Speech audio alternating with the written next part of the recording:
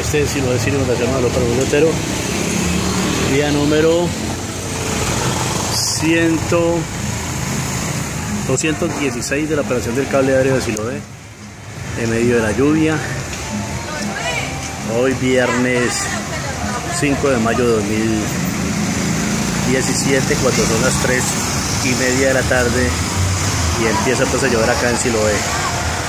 Siloé tiene fundación no por los entero mientras no estén haciendo tempestades eléctricas, tormentas eh, o truenos, no hay ningún problema, el cable funciona como está funcionando en este momento, ustedes lo ven allí desde la estación Lleras hasta la estación eh, de Mayo pasando por la capilla de San Ramón Nonato que fue construida en 1959. Siloé tiene fundación no con entero, día número 216 de la operación del cable aéreo Siloé en medio de la lluvia, lloviendo y haciendo calor.